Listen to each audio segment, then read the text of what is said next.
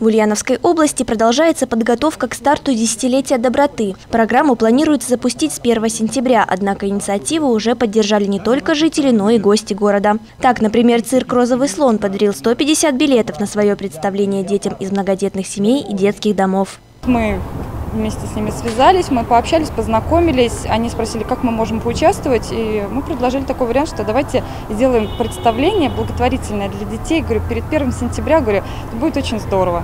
На пресс-конференции, посвященной теме доступности отдыха и развлечения для социально незащищенных слоев населения, артисты цирка рассказали о том, что с удовольствием приняли участие в подобной акции и поделились сюжетами своих лучших номеров. У нас будет колесо смерти, то, чего у вас раньше не было, тем более таких размеров, ребята колумбийцы. У нас будет шар смерти с ребятами с мотоциклами внутри, которые будут головокружительные трюки исполнять, там кровь в жилах стынет, действительно потрясающее зрелище. У нас будут аттракционы с, аттракцион со львами, у нас будут верблюды, дикобраз, обезьянки, леопарды, животные, акробаты, гимнасты. Полностью вот все, что нужно для абсолютно любого возраста людей. Ходе встречи обсудили основные направления и мероприятия программы «Десятилетия добра», главной задачей которой – расширение участия граждан в благотворительной и добровольческой деятельности, духовное воспитание и пропаганда семейных ценностей. Кристина Жако, Данил Сурков, Новости Ульяновской правды.